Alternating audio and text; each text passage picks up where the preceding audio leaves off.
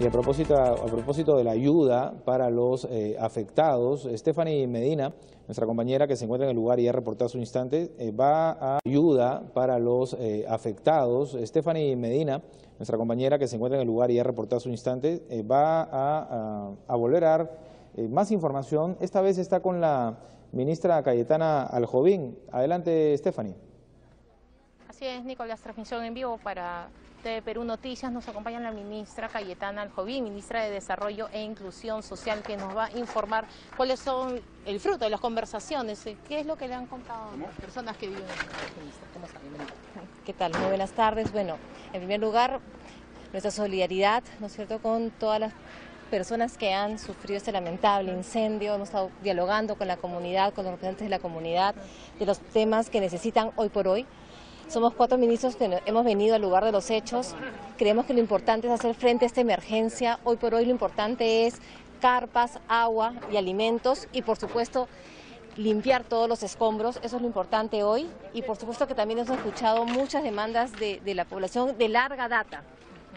Bien, ministra, eh, hablemos de las poblaciones vulnerables acá, que son las personas mayores de 65 años, los niños, las mujeres embarazadas. ¿Cómo se está Bueno, desde que sucedió el incendio, el Ministerio de Salud se hizo presente, el presidente Kuczynski nos pidió encarecidamente que tomemos cartas en el asunto. Y por eso es que hemos venido los ministros para dialogar con la población y tomar medidas de inmediato. Eh, esto es un trabajo conjunto que tiene que realizar por supuesto el municipio del RIMAC, la Municipalidad de Lima y el Gobierno Central con lo que nos toque apoyar. lo que queríamos era venir, ver, escuchar y, y saber cuáles son las necesidades y por supuesto estando acá presentes la ayuda se hace mucho más rápida, ¿no?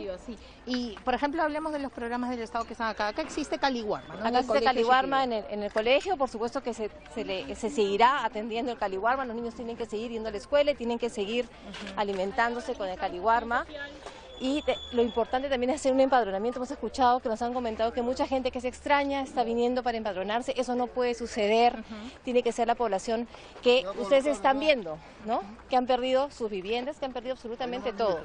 El ministro de Cultura, ¿no? Por ejemplo, con todo el tema de los artesanos, ha podido conseguir que en un, en un museo puedan ser trasladados y sigan trabajando, ¿no? Pues eso también es importante. Claro, porque justo las personas damnificadas nos contaban, bueno, pues el incendio está acá, pero tenemos que seguir trabajando para recuperar todo, porque las pérdidas felizmente han sido solo materiales, ¿no? Pero bueno, tenemos un niñito que en este momento está siendo operado, ¿no? Con quemaduras bastante graves, está en el hospital de niños, estamos muy pendientes de él. Eh, y, bueno, acá lo importante es también el tema de prevención, la ministra de Salud ha sido muy clara, tenemos que retirarnos todos de esta zona, ¿no? Tenemos que limpiar la zona, hay gases que pueden ser todavía tóxicos, no expongamos la salud, que es lo más importante, ¿no? Y sobre todo niños, eh, madres eh, que estén gestando y también, por supuesto, los adultos mayores, ¿no? Entonces es un llamado a toda la población, ¿no? Un llamado, un, eh, ustedes también son parte de, de la solución, ¿no? ¿No? Muchas gracias. Bien, palabras de la ministra de Desarrollo e Inclusión Social, Cayetano Rubio. Entonces, durante los siguientes días, Caliwarman, de desayunos para los más pequeñitos, va a seguir existiendo en este colegio Shipibo. Esa es la información que nos ha dicho la ministra. La ministra va a seguir recorriendo el lugar para realizar un diagnóstico y así pues traer la información de la Dirección de Estado para que es lo que se va a seguir, cómo se va a seguir trabajando y apoyando a las más de 280 familias damnificadas que han sido fruto de este terrible incendio.